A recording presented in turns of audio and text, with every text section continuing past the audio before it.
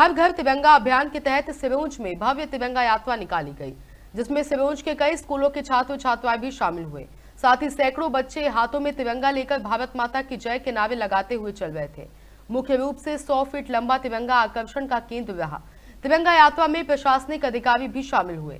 तिरंगा यात्रा CM rise school से शुरू होकर मुख्य बाज़ार, सराफा बाज़ार, चांदनी चौक, कोर्ट गेट होते हुए मंडी प्रांगण पहुँची। जहाँ यात्रा का समापन किया गया, वहीं बच्चों को अल्पाहार वितरित किया गया।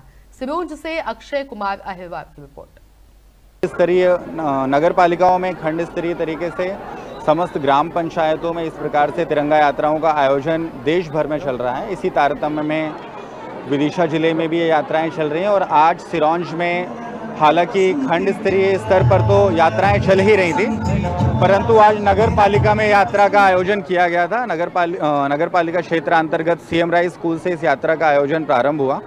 वहाँ से इस यात्रा का प्रस्थान हुआ और मंडी प्रांगण पे फाइनली ये यात्रा पहुँची है। मुझे बताने में बहुत हर्ष है कि ज़िले की सबसे ज़्यादा पार्टिसिपेशन वाली, सहभागिता वाली सबसे लंबी तिरंगा यात्रा आज बहुत जोश जुनून के साथ सिरौंज में निकाली गई है जिसमें आ, हमने विशेष तौर पर ग्यारहवीं और बारहवीं के स्कूल के छात्र छात्राओं को आमंत्रित किया था।